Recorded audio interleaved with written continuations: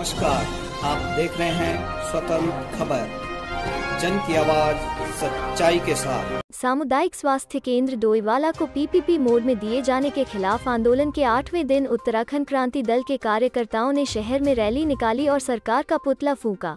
वहीं आंदोलन के आठवें दिन नगर उपाध्यक्ष योगी पनवार और वार्ड अध्यक्ष रंजीत सिंह क्रमिक अनशन पर बैठे।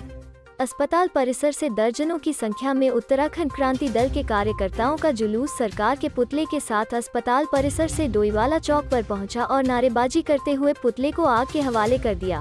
उत्तराखंड क्रांति दल के विधानसभा प्रभारी शिव प्रसाद सेमवाल ने कहा कि अस्पताल की बदहाली के लिए कांग्रेस और भाजपा दोनों बराबर दोषी है।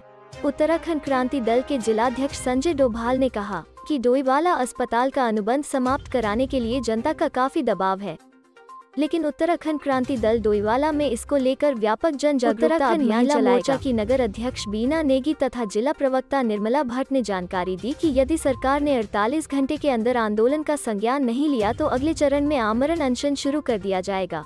इस अवसर पर उत्तराखंड युवा मोर्चा के केंद्रीय सचिव प्रीति थपलियाल तथा जिला कार्यकारी अध्यक्ष महिला मोर्चा किरण रावत और जिला सचिव मीनाक्षी सिंह ने धरना स्थल पर आकर आंदोलनकारियों का उत्साह बढ़ाया तथा वहाँ पर मौजूद जनसमूह को संबोधित किया।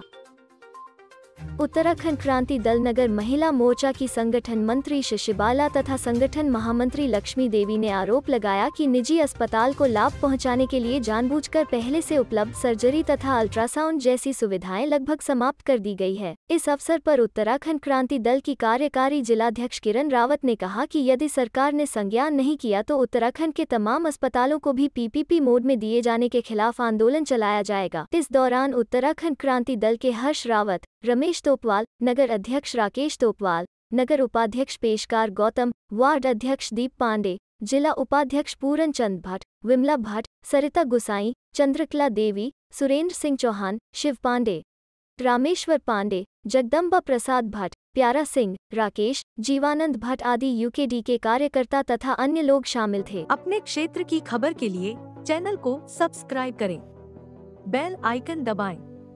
सबसे पहले खबर को पाने के लिए।